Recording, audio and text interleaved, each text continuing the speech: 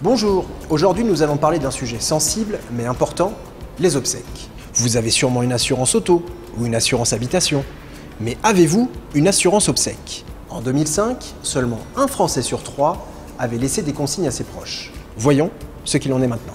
On n'a vraiment pas eu l'occasion d'y réfléchir et d'y travailler. C'est un sujet où j'ai pas encore pensé. J'ai pas envie d'y penser pour l'instant. Moi, ça m'a encore euh, jamais euh, vraiment interpellé. Je pense que j'ai le temps. Les Français s'assurent pour leurs biens, mais pas pour leurs obsèques. Ce n'est jamais le bon moment, ni la priorité. Pourtant, quand une personne décède, c'est bien sur ses proches que vont retomber les conséquences morales, organisationnelles, mais aussi financières des obsèques. Une décision qui n'est pas anodine.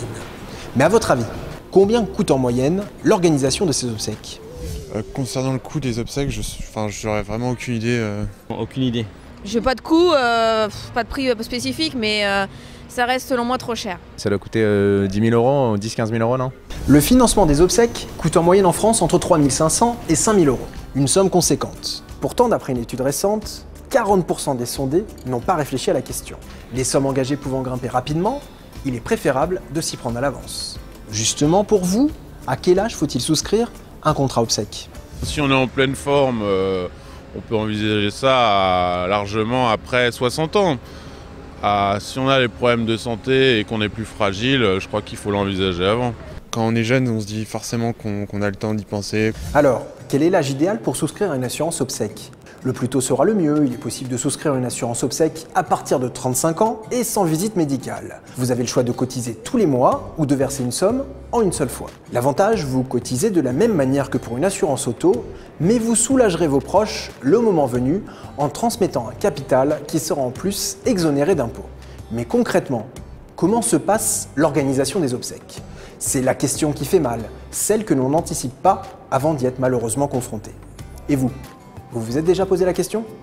À titre personnel, euh, j'ai clairement jamais envisagé ça pour moi. Quoi. Euh, oui, oui, j'ai déjà pensé. Maintenant, euh, je veux dire, c'est pas ce qui va nous faire mourir, hein, et heureusement, parce qu'il y en a qui n'aiment pas trop aborder ce sujet-là, mais euh, ça fait partie de la vie.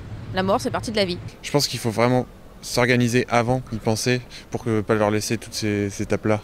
Quand survient le décès d'un proche, personne n'a envie de se perdre dans un flou organisationnel ni financier. En souscrivant une assurance obsèque, vos proches vont bénéficier de conseils pratiques avant, pendant et après les funérailles. Tout pour ne pas ajouter confusion et stress dans un moment déjà difficile.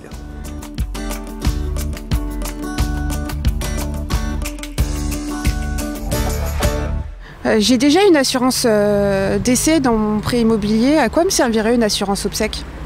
C'est une confusion fréquente. L'assurance décès comprise dans le prêt immobilier va servir à rembourser le capital restant dû, mais ne permettra pas de financer les obsèques. Vous voulez libérer vos proches des soucis de financement, mais aussi de l'organisation et des démarches administratives de vos obsèques? Prenez rendez-vous avec votre conseiller AG2R La Mondiale, il pourra vous guider dans votre choix final et réalisera avec vous des devis correspondant à vos besoins et à votre budget.